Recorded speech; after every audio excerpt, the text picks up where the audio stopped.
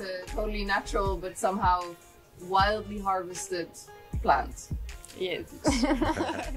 So is it commonly known here as something that you Uh, make it's- garments it's, with? It's right here, just But- behind you. It, is it is it something that the local people use to make clothes? It, in the olden days, there was a tradition of making using these fibers because there was no other natural fibers when the synthetic fibers came. Before the synthetic fibers, there is no other choice.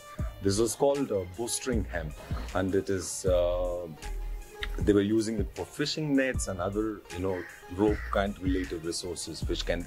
This was everywhere available, so it was the easiest source for them to get the rope very strong.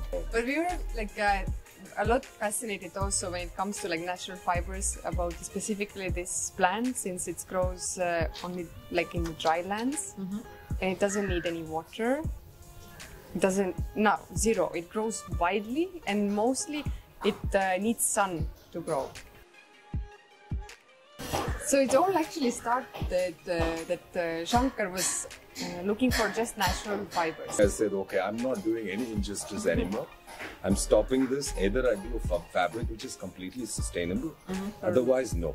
Okay. So I went on research, uh, trying to find out about different fibers. A lot of fibers I saw, but none of the fibers were really like uh, didn't have that feel for me. You know, I would say like the fibers did not have the versatility to to be spinned. You know, like to make it a perfect yarn. Yeah. And this fiber had the flow and it looked more like cellulose, which can be compared with cotton. That's why we blend it with cotton because it's more closer to that fiber.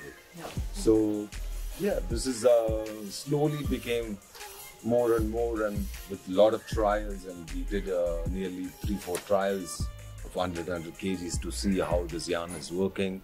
Yeah. To set up a perfect blend. This is how the whole project came in in this last two years, I would say. This was in the books when I researched a lot. It was said it is a pioneer plant, which means it grows first before any vegetation comes in. Yeah. So, and this plant becomes the host for bigger trees. So, where this has so much of nutrient, so one plant could help the plant, the whole, the big tree, to survive the summer. We started exploring and we started doing some research in farms in Auroville. Auro Orchard was the first people. They were hesitant at the beginning. So I insisted we did some trials in small area. Then they understood and we spoke to them. They understood what is our intentions here. Like if we can take out like so much part of pesticides which are used on the land. And uh, and then they agreed to the project and they're very happy with the results. They're you know diseases decreased and you know in the land it's more uh, they can see the changes on the naked eye. Even though we started off like focusing on the fabrics, but we saw like okay, we get only two percent of the fibers. What are we gonna do with the rest?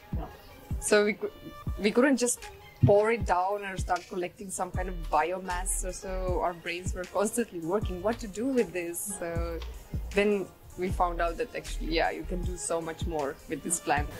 So what is the plan for the next year? We are planning for cultivation. Uh, we've already spoken to one Auroville farmer uh, who, who is willing to do this as a trial project in his place. He has land full. And there is another person who is organic farmer mm-hmm. who has some 30 acre of farm and she's willing to use our plant as a multi-crop. So we want to do this dry plant cultivation.